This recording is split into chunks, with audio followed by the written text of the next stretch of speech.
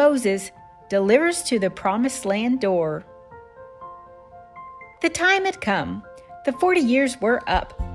It was time for God's family to go into the land that God had promised Abraham, Isaac, and Jacob so long before. But God had some unfinished business to take care of with Moses. Remember how Moses had hit the rock for water instead of speaking to it like God had told him? Moses got frustrated and disobeyed. His discipline was that he couldn't go into the land that God had promised his children. But God took Moses up on a mountaintop and did something very special for him. He showed him all the land. He said, This is it. This is the land I promised. I'm letting you see it, even though you'll not be able to go over there. That was sweet of God, wasn't it? Even though Moses couldn't walk around the land and experience it with the others, I bet Moses was thankful to see it, don't you? I'm sure he was happy and relieved to finally see God's children, his big family, delivered right to the door of the promised land. Moses' big job was finished. He was 120 years old, but we're told he could see as clearly as he ever could he didn't even need reading glasses. And he was just as strong as he was when he was a young man.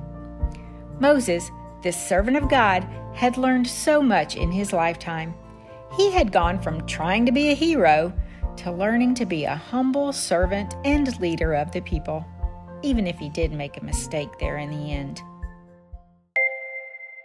Do you think Moses was sad that he didn't get to go into the promised land?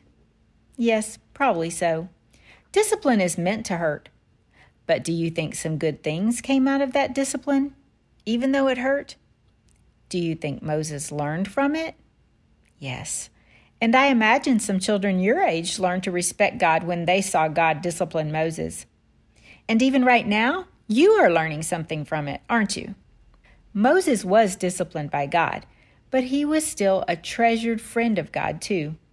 Just wait and see where Moses comes up again in this story but much later.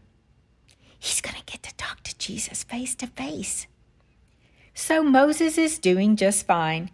He knows he's loved and everything is okay, even if he did get a little sting a long time ago. So Moses, at 120 years old, died right there on the mountain while God was showing him the land. And guess what? God Himself buried Moses. God's family was sad for Moses to go, they cried for Moses for 30 days.